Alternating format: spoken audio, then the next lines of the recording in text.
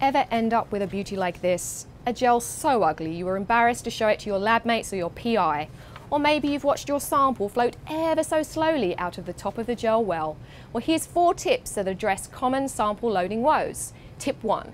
To avoid edge effects, add a 1x sample buffer to all unused wells and never overfill a well. Tip 2. To identify wells, use a sample loading guide or mark the bottom of each well with an ethanol soluble marker before removing the gel comb. Tip 3. If when you add a sample to your sample buffer it turns yellow, add tris base until it turns blue. And finally, if the sample floats out, add 10% glycerol to make it denser than the surrounding buffer. If you have tips and tricks you want to share, email them to us, labnotes at.